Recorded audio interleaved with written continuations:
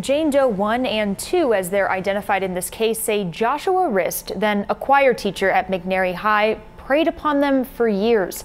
And their lawyer says they're disturbed because it appears he still works for the same district.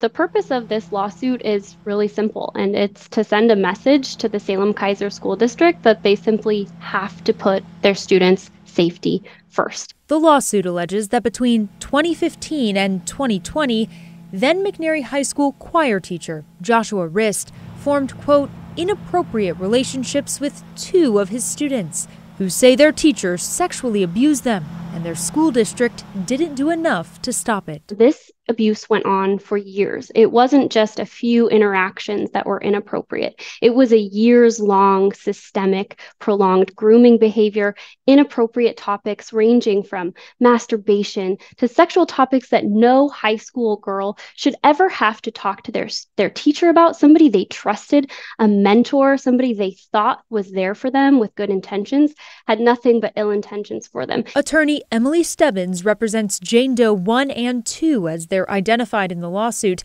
and says while they're each asking for $5 million in damages, they're also coming forward to protect others. Their primary motivation is protecting other children and making sure that this doesn't happen again. Because the teacher, Joshua Rist, still appears to work for Salem Keizer Public Schools. Their website shows him now at Kalapuya Elementary across town. The lawsuit laying out that Oregon's Teacher Standards and Practices Commission, or TSPC, investigated the student's allegations over two years. The outcome?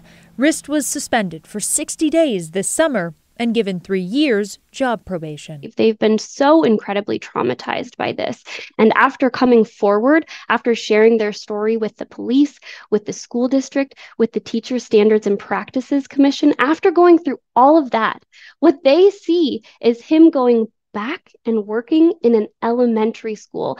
And our clients are horrified. The school district telling KGW in a statement it is aware of the lawsuit and has no comment on pending litigation. A spokesperson added, quote, "The district is aware of and fully cooperated in the investigation by both law enforcement and TSPC. The district is focused on the safe education of its students."